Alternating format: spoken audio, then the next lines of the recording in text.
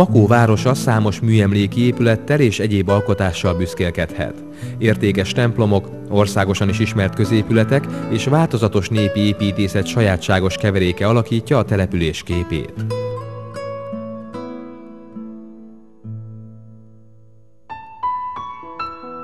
A Kálvária kápolna a legrégebbi makói épület. Népies barokk stílusban épült 1734-ben akkor ezt a területet még vizek vették körül, ez egy jelentős kiemelkedés a környékből.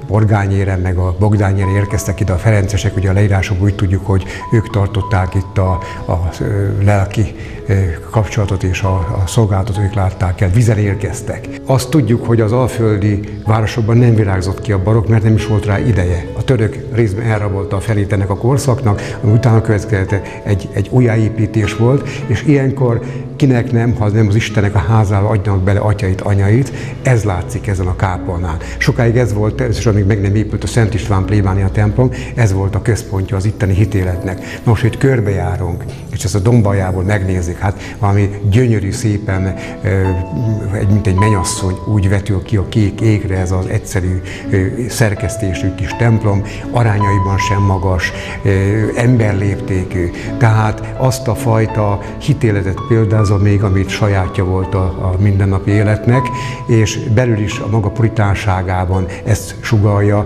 szinte szobányi, lakóháznyi méretű az egész. 30 évet ugrunk az időben. A Szent István templomot 1765-ben kezdték építeni az akkori város középpontjában. A munka 7 évig tartott, a kivitelezésben pedig megmutatkozik az érett barok minden jellegzetessége. Rögtön szembetűn a változás, ha csak a főhomozatot nézzük meg. Először is mindjárt itt már megmutatkozik a baroknak a tipikus stílusjegyének majdnem mindegyike.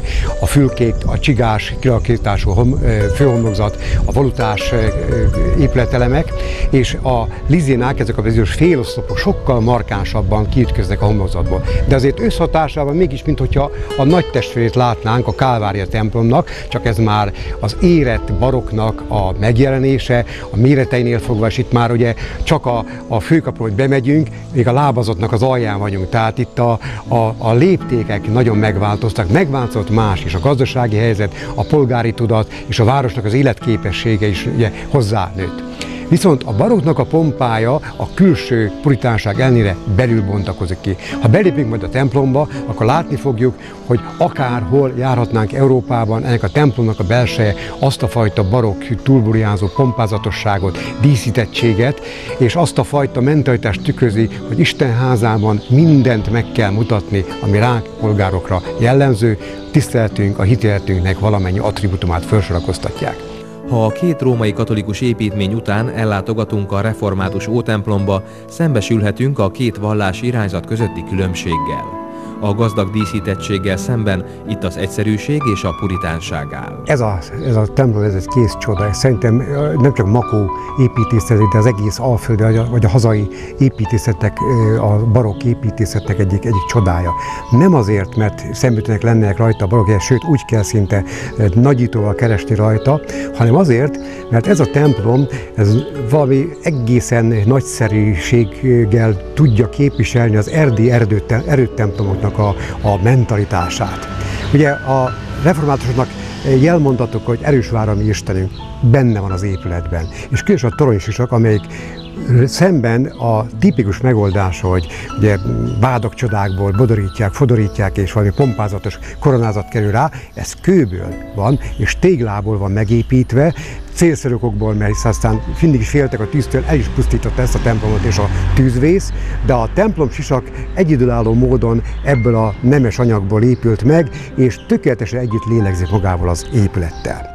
Az 1740-es években Makóra betelepült görög katolikusok szintén megépítették saját templomukat.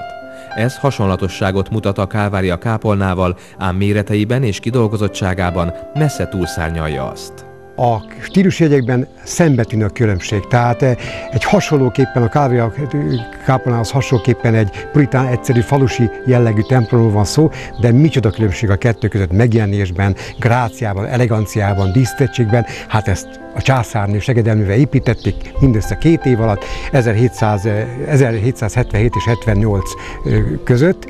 A torony az, az viszont tipikus, az jellegzetesen alföldi már, ez a bizonyos szoknyás harangforma. A részletekben már ugye megmutatkozik az élet baroknak mindenféle jegye, ezek a bizonyos féloszlopok, minden le van kerekítve, még a torony sarkai is, a koronázó párkány kifejezetten díszes, és most ugye, hogy restaurálás alatt áll, ugye még inkább kiemelkednek ezek a jellemző jegyek.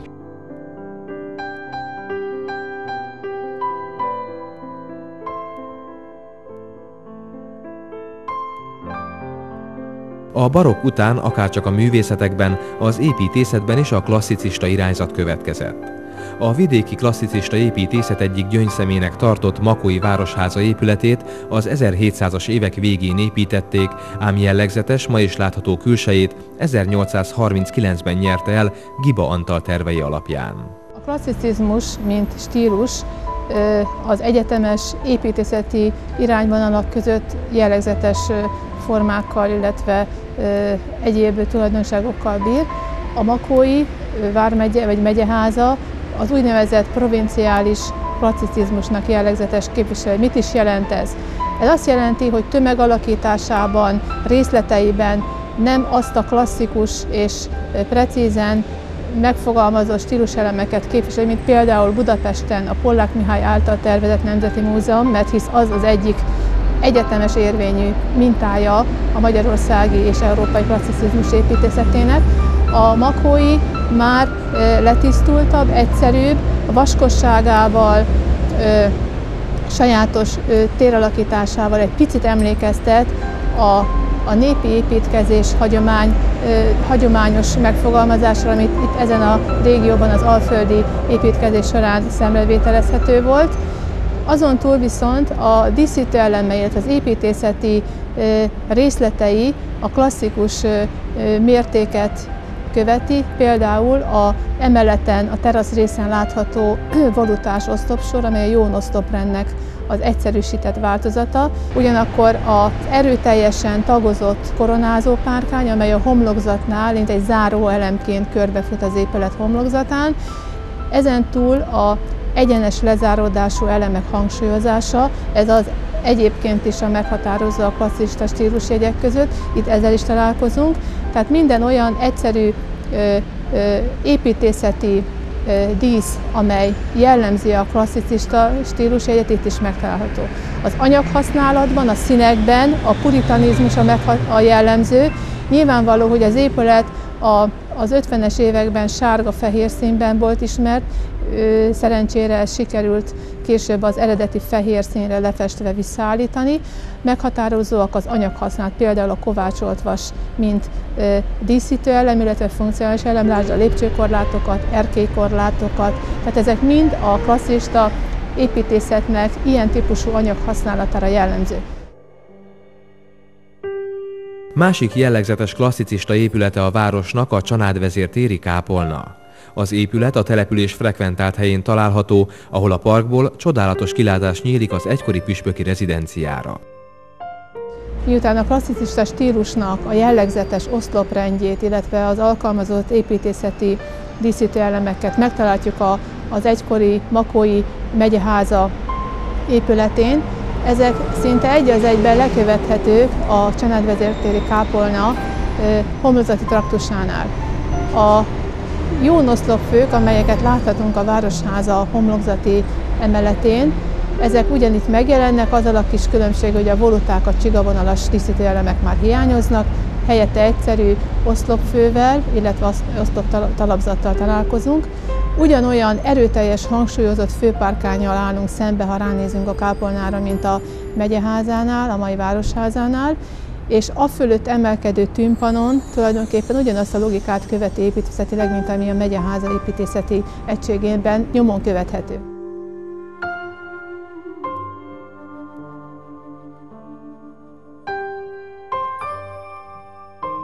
Ahogy a barokkot követte a klasszicizmus, úgy követte a klasszicizmust a romantika.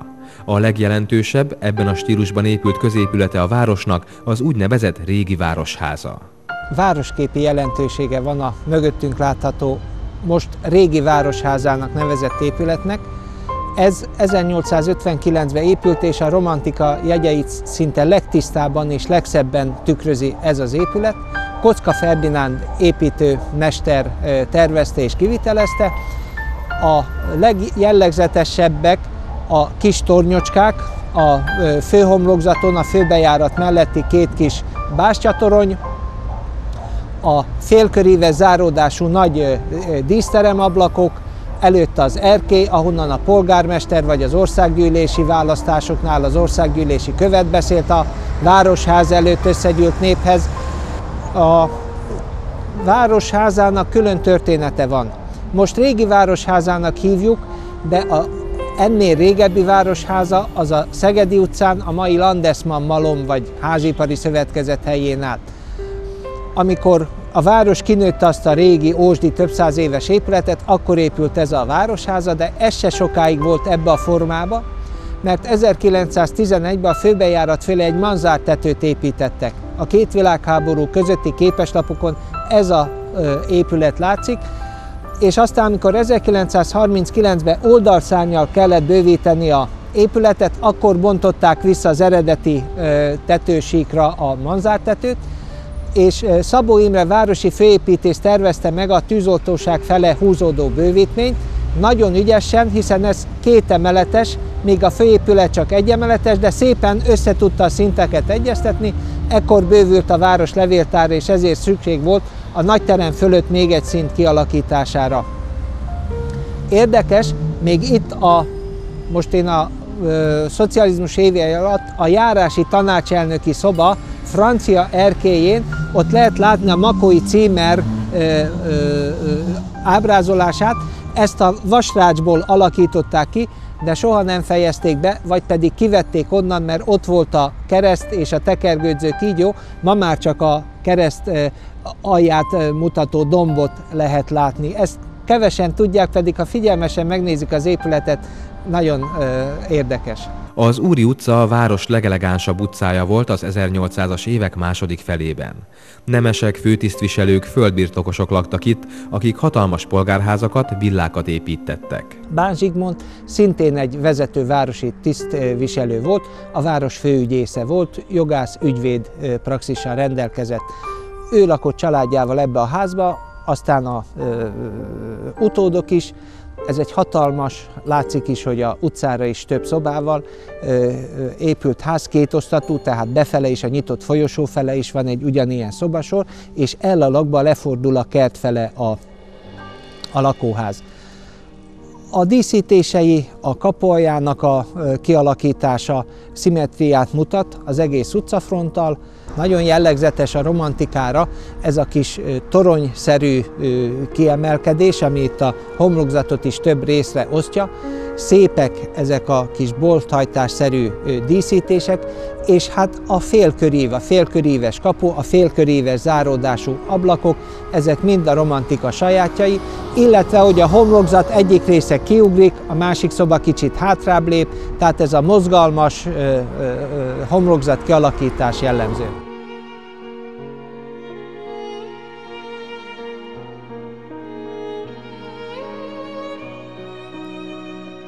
A 19. század végén, a 20. század elején a romantikus építészetet felváltotta az eklektika és a szecesszió.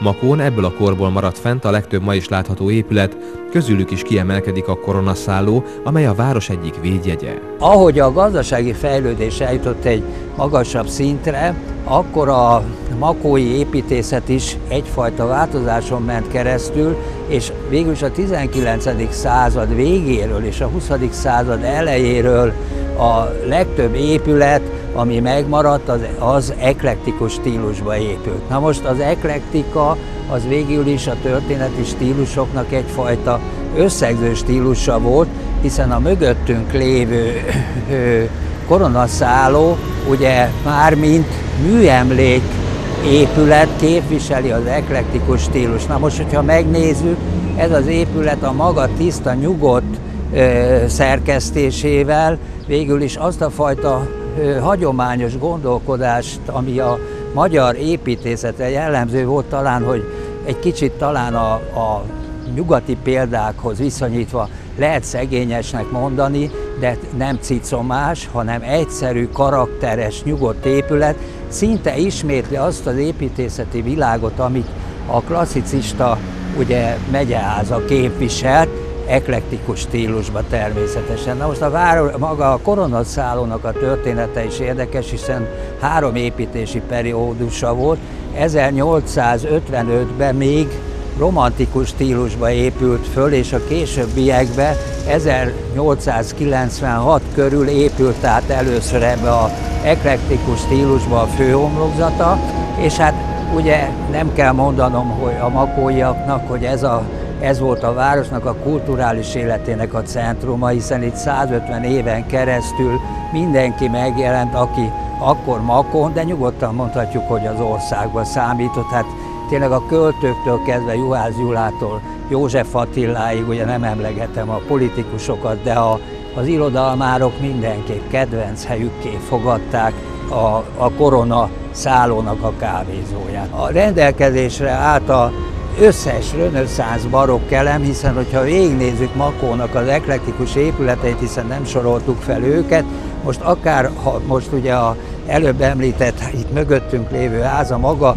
egyszerűségével majdnem ilyen reneszánszos hatású, tehát azt kell, hogy mondjam, hogy az egyszerű pilaszterek megjelennek középtengelyel, ugyanakkor már a tőlünk jobbra lévő megint eklektikusnak számító, jóval később épül polgárház, illetve bérpalota, ez, ez pedig neobarokk épület, tehát a neobarokk épület is eklektikusnak számít. De ugyanígy folytathatnánk a sort akár a József Attila gimnázium épületével, ami megint egy, az a fajta eklektika, ami szerintem igazi makói jegyeket visel, mert egyszerű, következetes. Mert ha meg, megint visszamegyek az én általam talán a legkedvesebb magyar épületnek tartott megyeházáig, tehát annak a fajta szerkesztésnek, amit Giba Antal képvisel, a hatása, hála jó Istennek, máig sem múlt el, jó, hogy a későbbiekben kinövések vannak, mégiscsak ez a fajta egyszerű eklektika valósult meg. Na most ennek egyéb oka is van, mert ha arra gondolunk, hogy ezek az eklektikus paloták akár még Budapesten, az Andrássy úton is kőből épültek, most ne beszéljek Olaszországról, Franciaországról, tehát ezek kőpaloták voltak, nekünk pedig hát arra volt lehetőségünk, hogy téglából megépítsük, és vakolat architektúrával jelenítsük meg azt az építési stílust, amit éppen óvajtottunk. A szecessziós elemek, amelyek közül legismertebb a növénymintás homlokzat, igen kedveltek voltak a makói polgárság körében. Ilyen házat találhatunk többek között a József Attila utcában is. Több polgárházon, makon szerencsére megmaradtak ezek a szecessziós jegyek. Én azért gondoltam, hogy mutassuk be ezt a József Attila utca 1-2 szám alatti házat, mert ezen végül is megmaradt az a homlokzati architektúra, ami eredeti, azonban az idők során ugye a tulajdonos váltással, ugye ez, ez kettős tulajdonban volt egy-kettő, tehát azonos jellegű volt eredetileg, azonban a különböző tulajdonosok most már ugye földarabolták, és a helyreállítása is sajnos úgy történt az elmúlt időben, hogy nem összehangoltan a jövőben valószínű, hogy sikerülni fog, hogy azonosan legyen végig festve a homlokzat, és a homlokzati elemek, ami ugye ezek a növényindás, szecessziós elemek, amik itt ezen az épületen is megjelennek, hozzáteszem, ez is ugye ugyanolyan kicsit egyszerűsített változatban jelenik meg, és én azért nagyon szeretem, tehát annak ellenére, hogy itt egy nagyon gazdag polgárság volt ugye Makon, azért az épületeit visszafogottan terveztette meg, most akármelyik stílusra gondolunk, de hát hiszen eklektikus stílusú maradt fönt legtöbb. És ez vonatkozik a szecesszióra is, és ez az épület, hogyha eredeti formával felújítják, várhatóan az elmúlt években, szerencsére az állag megőrzés megtörtént, de hogyha ránézünk a tetejére, valószínű, hogy újra kellene fedni azonosan az egészet, és újra kellene festeni, és azokat az elemeket úgy kellene kiemelni, ahogy az eredeti tervekben szerepel. Az a lényeg a, a, egy stílusnak, és ez, ez, ez sajnos a modern stílusra már nem jellemző, de a, a történeti stílusoknak, hogy azok esetében nem csak a kapuk, az ablakok, az ablakkeretek, a kilincsek, a belső szobáknak a stukkói, azok mind azonos stílusba jelentek, illetve lettek megtervezve, és ahol ezt megcsinálták, az azonosan meg is jeleníthető. Na most ebben az esetben igen nehéz lesz, mert már több tulajdonos kezébe van, de legalább úgy érzem, hogy a homlokzatoknak az azonosságát az ki kellene hangsúlyozni.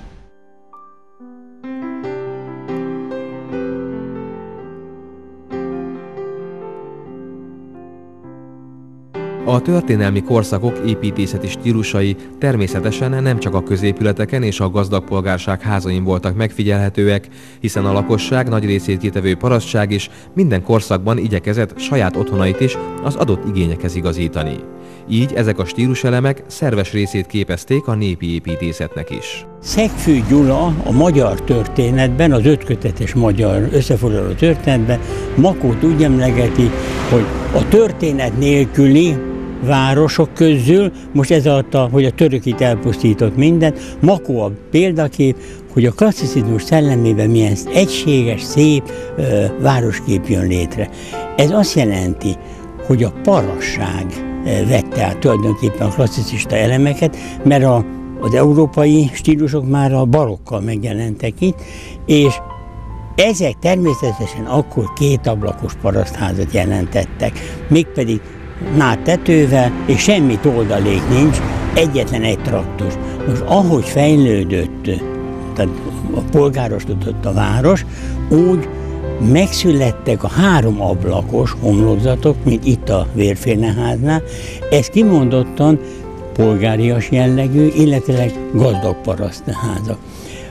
Tehát ez azt jelenti, hogy két traktus van, a szoba szélességű, és mellette a gang vagy folyósó szélességű toldalék. Ebben az esetben már ez a tornáz be van építve, tehát az ablak nem csak egy kis szobának a világítását szolgálja, hanem tulajdonképpen egy, egy egységes második részt is kap. Na most a kisparaszti házaknál tulajdonképpen korunkig föl lehet még fedezni a függőleges tagolóelemeket, az erőteljesen koronázó párkányokat, de egyre fogynak ezek, valahogy a modern világ egyszerűsége jelenik meg a homlokzatokon. Ezt követően a romantika lesz általános a népépítészetünkben. Ez szinte azt kell mondani, makóra volt jellemző az a forma, amikor a kiskapu fölött egy attika fal, tehát van egy ugye, nyeregtetős rész és egy megtoldás. Ez azt jelentette, hogy nagyobb felületet kapott a homlokzat önmagában rangosabbnak tűnt. Nem volt belőle semmi jelentősége, és akkor erre e, ilyen gombákat tettek, cserepessel, agyagossal készítettek zöld vagy barna gombákat, nagyon szépen díszítették az oromzat tetejére is, erre az attika falra és a másik végére is. Aztán pedig a eklektika, a maga topzódó gazdagságával, sőt a szecesszió is megjelent. Tehát azt kell mondani, hogy a, az európai stílusok nagyon szépen érvényesültek a makói népépítészetben is. Jól látható, hogy a történelmi korstílusok emlékei Makón is megtalálhatóak a baroktól egészen a szecesszióig. Ezt az igen gazdag örökséget azonban érdemes lenne lehetőségeinkhez mérten minél inkább megőrizni, hogy utódaink ne csak könyvekből, fényképekről, vagy talán pont e filmből ismerhessék meg ezeket az épületeket, hanem maguk is megcsodálhassák az építészeti műremekeket.